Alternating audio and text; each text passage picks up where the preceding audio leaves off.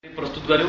र पछि सङ्घीय गठबन्धन आन्दोलन गर्दाखेरिको अवस्थामा जुन छब्बिस बुँदे जुन प्रस्ताव पेश गरेको छ त्यही मलाई लाग्छ कि बुँदा यो सरकारसँग पनि हुनेछ र यो सरकारले त्यो मुद्दालाई सम्बोधन गर्ने यदि प्रतिबद्धता जाहेर गर्छ भने त्यस हिसाबले हाम्रो चाहिँ यो सरकारको समर्थन र सहयोग असहयोग त्यसमा हाम्रो निर्भर हुन्छ। यो सरकार हुने बित्तिकै हामी यो सरकारमा गएर यो सरकारले शक्तिहरू छन् अथवा राष्ट्रियताहरू छन्। मधेस पहाड हिमाल आदिवासी जनजाति भाषाभाषी जुन क्षेत्रहरू छन् त्यसमा जो आन्तरिक लोकतन्त्र यहाँ जो कमजोर भयो त्यो आन्तरिक लोकतन्त्र कमजोर हुनुका कारणले बाह्य विस्तारवादी शक्तिहरू अलिक बलियो भएर गए। त्यस कारण हामी के चाहन्छौँ भने एउटा हाम्रो पार्टी अथवा सरकार बनिसकेपछि एउटा विदेशसँगको सम्बन्धलाई हामीले अत्यन्त सन्तुलित सम्बन्ध कायम गर्न सक्छौँ। गर्ने प्रयत्न गर्छौँ। दोस्रो यहाँ आदिवासी जनजाति मधेसी मुस्लिम महिला दलितहरूले जो आन्दोलन गरिरहेछन् गरिराख्नु भएको छ र त्यो आन्दोलनलाई हाम्रो पार्टी र हाम्रो नयाँ बन्ने सरकारले त्यसलाई उहाँहरूका जरुरी पनि भएन। व्यक्तिको कुरा आफ्नो ठाउँमा हुन्छ। पार्टी संस्थागत ढङ्गले चल्छ। पार्टी सरकारमा जाने कुनै सम्भावना छैन। यसबारेमा कुनै प्रति प्रश्न नगरियोस् भन्ने मेरो आग्रह छ। त्यो टाइमको वेस्ट मात्रै हुन्छ। जहाँसम्म अब राष्ट्रिय राजनीतिका पछिल्ला घटनाक्रमहरू छन् हामी निकै नजिकबाट निहालिरहेका छौँ। साथीहरूले भन्दै हुनुहुन्थ्यो यो हामी आफैले यो सरकार परिवर्तन गरेका हौँ आफ्नै खुट्टामा उभिएर नयाँ सरकार बनाउँदैछौँ। तर गएका दुई दिनका हाम्रा मित्र राष्ट्रका मिडियाहरूले धेरै कुराहरू उजागर गरिसकेका छन्। मलाई त्यसमा थप केही भन्नु छैन। मलाई पीडा चाहिँ छ यति साह्रो नेपालको राजनीति बारेमा नकारात्मक टिप्पणी भोलि बन्दै गरेका प्रधानमन्त्री हाम्रो असहमति रहन्छ तर जेसुकै भए पनि पुष्पकमल दाहाल प्रचण्ड नेपालको प्रधानमन्त्री हो।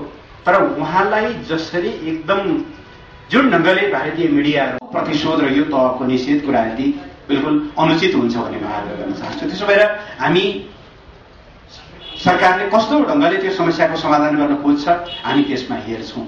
हामी हाम्रो रचनात्मक भूमिका रहन्छ यो संविधानको स्वीकार्यताको दायरा अझ बढाउनको निम्ति। तर के कुरा प्रश्न हो भनेदेखि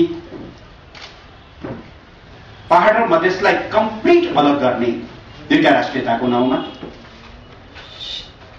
अङ्गीकृतहरूले पनि राष्ट्रपति उपराष्ट्रपति प्रधानमन्त्री लगायतका पदहरूमा लड्न पाउनुपर्छ भन्ने खालको जस्ता तर्कहरू गर्ने। यो खालका कुराहरू गरेर संविधानको आधारभूत संरचना नै भत्काउने कुरामा भने नेकपा एमालेको सहमति हुँदैन। सीमामा पुनरावलोकन गर्न हामी तयार छौँ।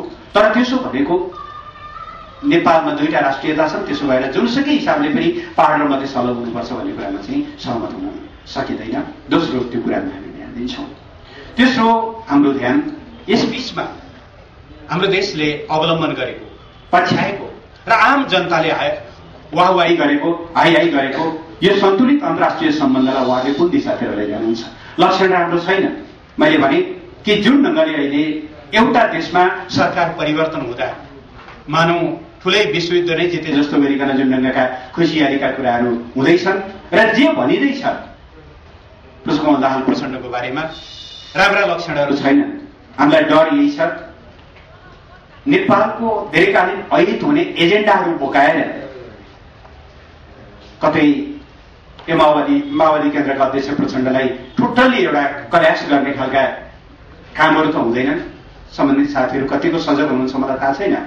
तर हाम्रो ध्यान तेस्रो कुरा भनेको नेपालको सन्तुलित अन्तर्राष्ट्रिय सम्बन्धलाई खलबलाउने खालको फेरि नेपाललाई एकपक्षीय निर्भरतातिर धकेल्ने खालको कुरा भयो भने हाम्रो सहमति रहँदैन त्यो कुरामा ध्यान दिन्छौँ।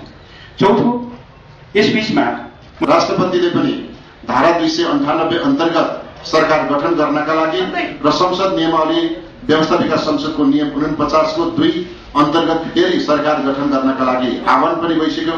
सहमतिको सरकार गठन गर्न आह्वान गरेको सात दिनको म्यादमा दुई दिन क्रस भइसक्यो कटिसक्यौँ हामी। अब पाँच दिन बाँकी छ। मलाई लाग्छ यो हप्ता अब आउने सात दिनभित्रमा नयाँ सरकार गठन हुन्छ र नयाँ सरकारले अगाडि राखेका प्रस्तुत गरेका मागहरूमा म यहाँ कार्यभारहरूमा जसरी माओवादी केन्द्रसँग सात बुधे सहमति भएको छ। त्यसै गरी सरकारलाई सरकारका विरुद्ध पेश गरेको अविश्वास प्रस्ताव पनि सात बुधे छ तिनै सात बुधामा जे असन्तुष्टि काङ्ग्रेस ए माओवादी केन्द्रले प्रस्तुत गरेको छ त्यसै गरी हामी ती कुराहरूलाई सात बुधालाई अहिले नयाँ सरकार हाम्रा ठुला दुई विशाल मित्र राष्ट्रका बिचमा नेपाल छ र नेपाल कमजोर हुँदै गर्दा अथवा नेपालले आफ्नो राज- राजनीति र कुटनीति सम्हाल्न नसक्दा कुनै एक मुलुकले दिएको प्रतिक्रियालाई म हस्तक्षेप मान्न म तयार छैन। यो चासो राख्नुपर्छ राख्ने गर्छन्। तर त्यो चासोलाई नेपालले र नेपालका राष्ट्रिय राजनीतिक दलहरूले नेपाल सरकारले यसलाई कसरी व्यवस्थित गर्छ कसरी त्यसलाई दिने?